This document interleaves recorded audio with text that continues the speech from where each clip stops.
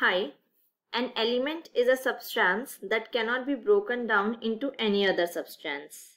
And all elements are